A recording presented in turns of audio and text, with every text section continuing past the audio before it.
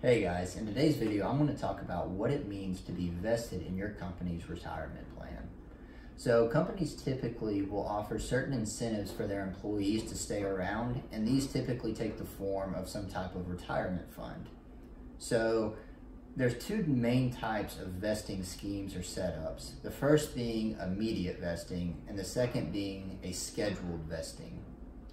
Immediate vesting is really nice for the employees because that means you get access to the full amount of money, both the money you put into a retirement fund and the money that your company matches in that retirement fund immediately. You don't have to wait around.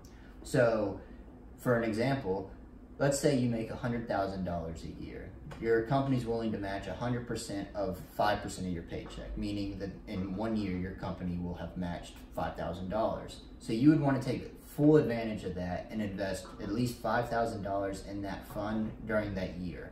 So that means that not only will you have the $5,000 that you invested in whatever gains you received from that for that first year, you will also have the company's match $5,000 and that gain for the first year and you can use that money immediately. You don't have to wait around for that money to be vested. It already is. Now that we've talked about what immediate vesting is, I think it's important to talk about what a vesting schedule is. Vesting schedules are used pretty often with companies in order to keep the employees to stay at the company. So, for an example, let's use a, the same example we did last time. You make $100,000 a year, and your company's willing to match 5% of that $100,000. In this example, like we did the last one, I'm going to have X be the growth of your contributions and Y be the growth of your company's contributions.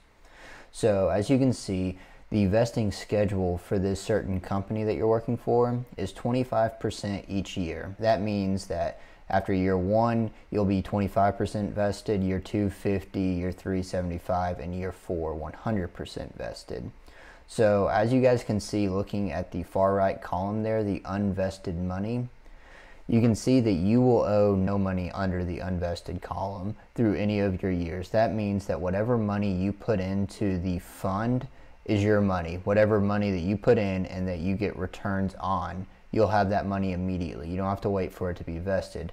However, your company's money is a different story. So let's look at year one. Your company also invested $5,000 that first year. However, you only have access to $1,250 and the 25% growth associated with the $5,000 invested.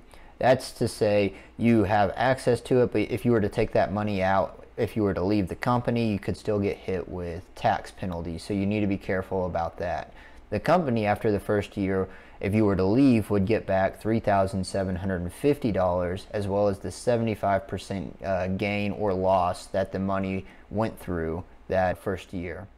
At the end of year two, you will be 50% vested, and this means that you will have contributed $10,000 and your company will as well have contributed $10,000. I'm not going to go into the percentage breakdown like I did in year one just because it is the exact same thing as year one is just with a higher percent. And this pertains to year three too. You and your company have both contributed $15,000 and now you're at a 75% vested rate, which means that you could expect to see the numbers that I'm showing for year three.